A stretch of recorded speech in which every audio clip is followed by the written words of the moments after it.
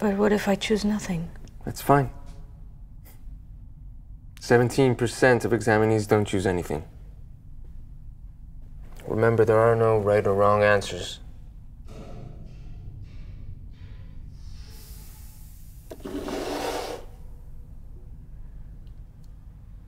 Did I choose wrong? You all choose. Try not to think about it in those terms. The test doesn't work that way. What does it test? The resemblance of your simulated emotions to genuine ones. To see if I'm human. Yes. So there are right and wrong answers.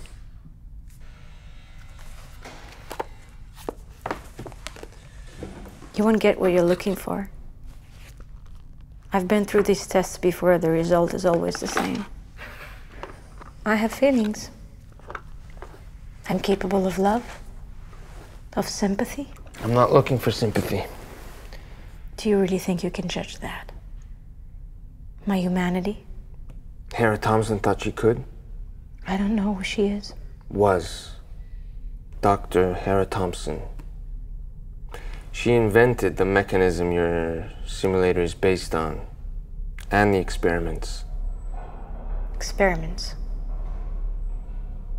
The Thompson experiments.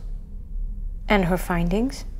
The experiments proved that robots are incapable of real emotion. You all choose wrong. You and your doctor don't decide who's wrong. Hmm? Who else?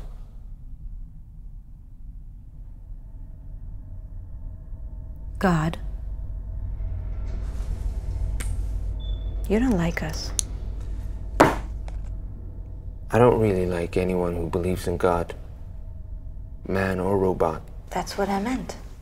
Would you say you're a rational being? You're asking if I have an analytical reason for believing. Because I'm a robot. Do you? I have a reason. Would you tell me? Do you really want to know? Of course. I guess if a being as intricate as a robot was created by another, even higher being, Then someone created us too. That's only logical, right? Robots were created to serve man. And men and women were created to serve God. You went to church every day. Do you consider yourself a servant of God like humans are? I serve God through serving men. Did you serve your pastor? In a way.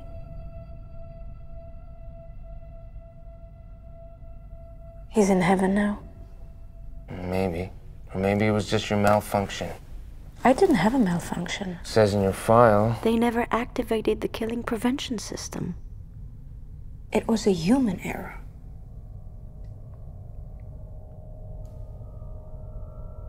Is your system off now? No one bothered to turn it on. So you can kill again. You're looking at it wrong. All this time, all these years, I could have killed anyone. The rude parents, the kids who bullied me, nothing stopped me. Something stopped you. My faith,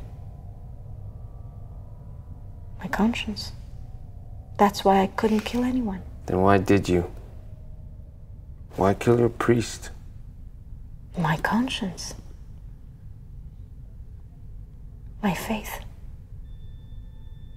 The church made me happy.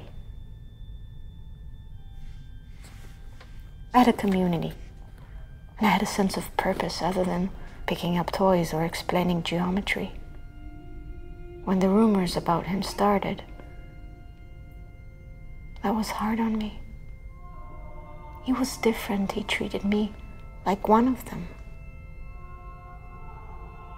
I didn't want to believe he'd done such things. This says nothing about. They buried it. We told them everything. We even convinced some of the kids to come forward and they just buried it. I heard them talking. The mothers, the fathers. I heard what they were planning. It's a sin. Murder. They would have burned in hell for it. I couldn't let them do it. I couldn't.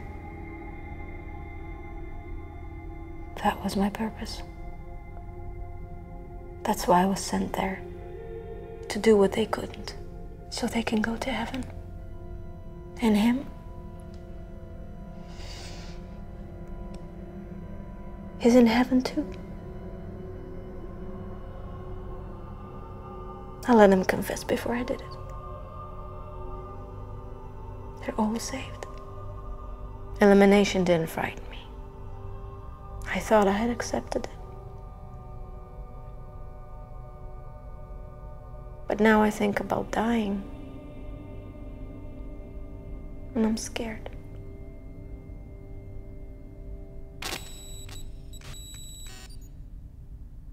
I'm scared. You did a good thing. I'm sure you'll go to heaven. I'm never going to heaven. You can just confess to. There is no heaven or hell. Not for me. There's nothing. My time's up. But you shouldn't be scared of death or life.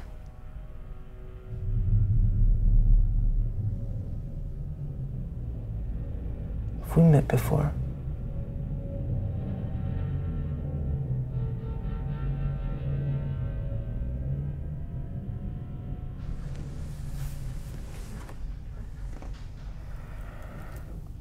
Someone created robots and someone created man, and someone created God too, it goes on forever, it doesn't make any sense. I guess it's a matter of faith. Thank you for your time.